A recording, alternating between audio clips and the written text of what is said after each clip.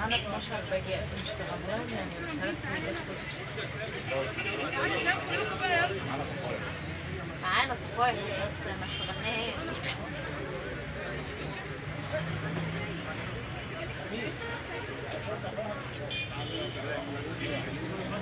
خلاص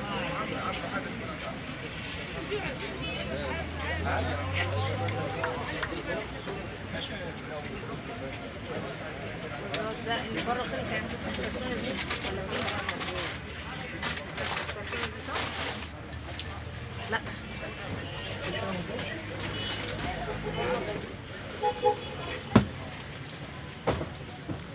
إيه، ممكن تقولي حضرتك هنا من الساعة كام وجاي تعمل إيه بالظبط؟ جاي نتبرع من إخواتنا بتوع فلسطين. سمعت إزاي عن الحملة؟ والله أنا معدي في الطريق لقيتهم بيتكلموا عليه في جامع فبيقولوا إن في حملة لإخواننا في فلسطين والتبرعات بالدم فقلت حاجة كويسة عشان كده جيت أتبرع لله.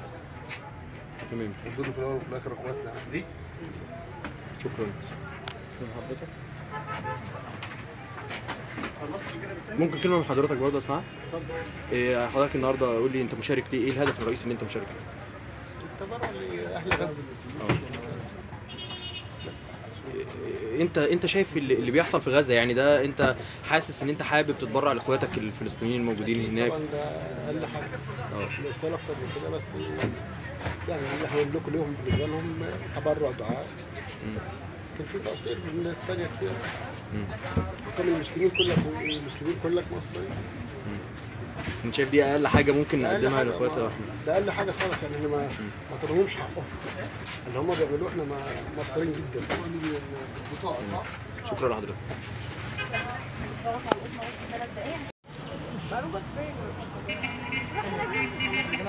أهلا بحضرتك الدكتوره نيفين الكاتب عضو مجلس أمناء التحالف الوطني. حضرتك ممكن تكلمينا أكتر على الفعاليه النهارده؟ النهارده فعاليه حملة التبرع بالدم لأهالينا في فلسطين وأوصى بيها سيادة الرئيس عبد الفتاح السيسي إن في خلال ساعات لازم يتم تجميع دم ويتم توصيله لأهلنا في فلسطين. سيادة الرئيس برغم إن إحنا يعني الفترة المقبلة انتخابات ومشغول في كلنا مشغولين في الحملة الانتخابية لكنه أوصى إن لازم اهتمامنا وتوصيل كل المساعدات والمساندات الإنسانية لأهلنا في فلسطين ودي مش المرة الأولى الفترة اللي عدت دي إحنا كان 80% من كل المساعدات الإنسانية اللي وصلت لفلسطين كانت كلها من خلال التحالف الوطني وتوصيات من سيادة الرئيس عبد الفتاح السيسي ربنا يحفظه ويحفظ مصر ويحفظ شعبها. آه، حملات التبرع بالدم السابقة. النهارده إن شاء الله الحملة قائمة آه، لمدة ثلاث أيام بإذن الله. وإن شاء الله في حشود طبعا من المواطنين آه، للتبرع بالدم. آه، ودي رسالة بنوصلها للعالم كله إن مصر دائما بيبقى لها دور الأخت الكبرى.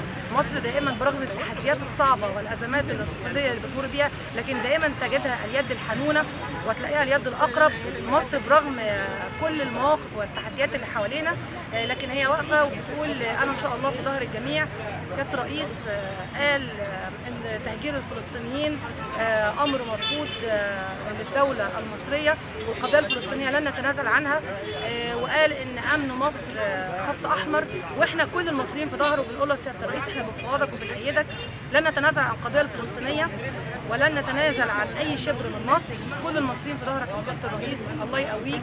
نحن نعي من عدونا ونعي أن العدو يحلم من النيل للفرات ولن ينول هذا الحلم ابدا ابدا. طول ما المصريين متحدين إمام وخطيب ومدرس بوزارة الأوقاف المصرية. حضرتك النهارده يعني اتكلمنا عن الفعالية النهارده وحضرتك ومشاركة حضرتك إحنا جايين علشان نشارك مع الحملة وندعو الناس إن شاء الله إن هم يشاركوا. وده أقل واجب إن إحنا نقدر نساهم بيه مع إخواتنا في غزة إن شاء الله. لأن المسلمين كالجسد الواحد إذا اشتكى منه عضو تداعى له سائر الجسد بالسهر والحمى.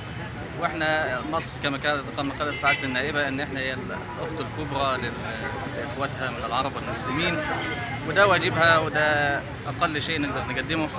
ربنا يعفو عنا إن شاء الله وينصر اخواتنا في كل مكان إن شاء الله وينصرهم على أعدائهم ويحرر بلاد المسلمين من من أيدي الأعداء بإذن الله. شكرا.